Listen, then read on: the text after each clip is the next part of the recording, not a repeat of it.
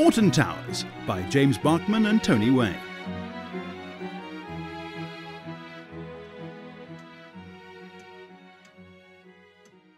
I'm so sorry for your loss, Master Orton. Your father was a great man. He'll be much missed. Thank you, Farmwell. As the new Earl, I hope I can live up to his memory, the exceptional standards he set in running this estate, and keep true to the memory of my ancestors and the great name of Fox Orton.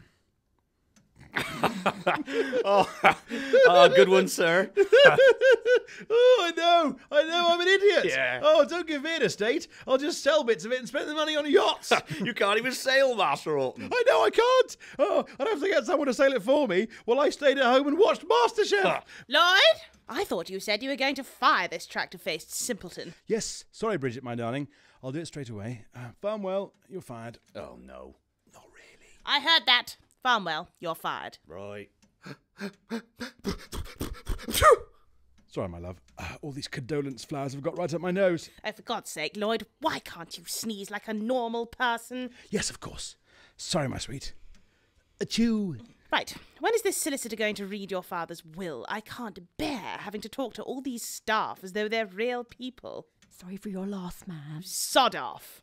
I'm sorry about the hold up, my love, but ever since father was accidentally buried alive at the beach as a child and then got buried alive in an avalanche while skiing in St. Moritz, he had this ridiculous irrational fear of being buried alive. Oh, and then there was that time, of course, when we buried him alive. So he said we should check an hour after he was buried this time, just to make sure.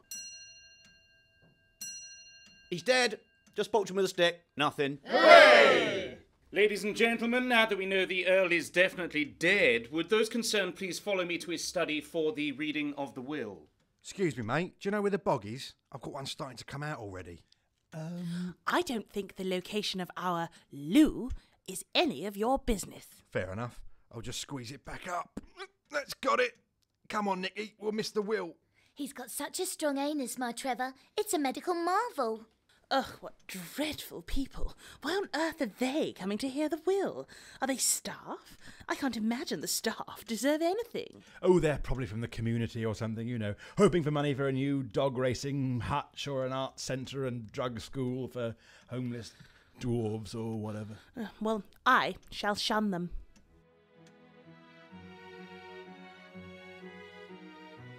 Could you please all take a seat? Are we all present? Chessington! Lloyd, old man! Bridget, you minx! I came back from Borneo as soon as I heard, old boy. How was the expedition? Fascinating, fascinating place, fascinating people. You can turn that tape off now. Sorry, yes, you know how I love to make an entrance. La Mumba!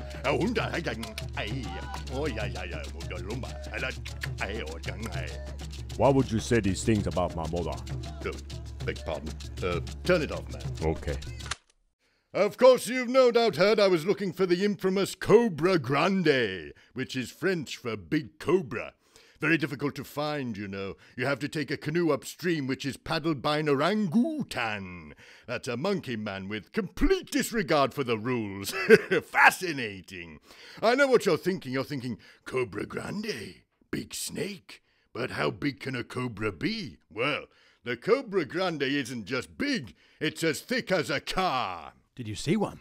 Of course I've seen a car. There's one outside, a blue one. Oh, oh, the Cobra Grande. No, no, no, not at all. Totally wasted trip, but fascinating. Anyway, as soon as I got word old Uncle Dickie had carked it, I was on the first ship back to civilization. Oh, I'm hoping he's left me those decanters. Uh, let's get this will on the road. Read on, Macduff. My name's not Macduff. What is your name then? Uh, Christopher Milligan. Read on, Christopher Milligan. Ladies and gentlemen, I, I, shall now read the last will and testament of Earl Richard Fox Orton. To my cousin Eleanor's son, Chessington Ventures, I leave my three cut glass decanters. yes, get in. I'll be in the kitchen filling them up and then emptying them. To my faithful manservant and lifelong companion, Munter, a man who has tirelessly served the Fox Orton family for over 70 years, man and boy, I leave the grand sum of one hundred pounds What? in premium bonds. Bastard! I do hope you'll stay on, Munter. Well, I'm going to have to now, aren't I, you moon calf? Oh, good. The remainder of my money and the house and lands of Orton Towers I leave to my son Lloyd, Oh, thank God. all of which he is to share with my other son, Trevor Pooh. What the? Other son? Yeah, it's Pod, Trevor Pod. Oh, I'm sorry. Your father's handwriting is appalling. Your father? His father? Look, Don't look at me, mate. I knew it. I always said you had a brother, didn't I, Trevor? Because of how much you love the programme Big Brother. Yeah, because of how my favourite song is Brothers in Arms by Dire Straits. And because you love that TV show Band of Brothers. Yeah, and there was also that time my mum told me I had a long lost half brother, but I just thought she'd gone mental again, like when she thought they were radiator people. This is all clearly outright lies. There is no conceivable way in which my husband could be your brother. Now hold on. You're weird, Trevor. Why can't you sneeze like a normal person? Lloyd, do something. Call the police. I'm not sure this is strictly a police matter. Nonsense. I feel like I've been physically raped. I didn't touch her. Oh, no, you didn't, darling. Now, if you don't mind, perhaps someone could show my common law husband to his loo. Don't bother. Just show me to a sink. Oh, wow. Oh, what a stench. Oh, oh, oh Bridget, my darling, I- I feel I may faint. Go on then. Munter, may I lean on you? You can try, sir, but I will deliberately move away. Thanks awfully.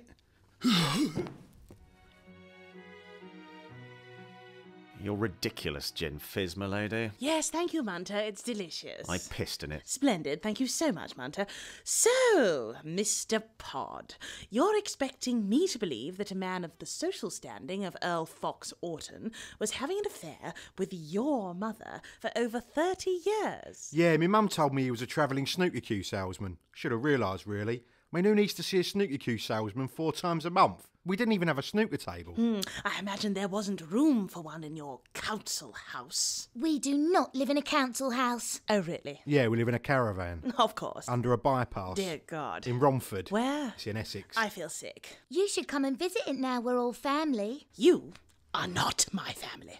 You're not even legally married to him. Never has the phrase common law been so fitting. I feel a little bit wobbly. Well, you seem to be taking it remarkably well. How long was I out for? One hour and 17 minutes. You fainted precisely 32 seconds after your new half brother defecated in his second hand work trousers. It was fascinating. I put a pencil in your nose and you had no idea. Can I take it out now? Yes, of course, it served no real medical purpose. Those pods seem a bit. What are we supposed to say instead of common these days? Oh, uh, real? Gritty? Urban? No, no, that's black people. Town centery? Better. They look like the sort of people who sit on the back of a bench with their feet on the bit where they should be sitting on it properly. Not that I've ever been to a town centre, of course. Well, we've all seen the bill. Yes. I suppose I should go and be friendly. Maybe offer them a drink and then they'll get drunk and leave and forget all about it. Yeah, you do that. I'm just going to stay here and play with my decanters. Now, which one shall I put the port in? Mm, all of them! no, no, that's madness. What was I thinking?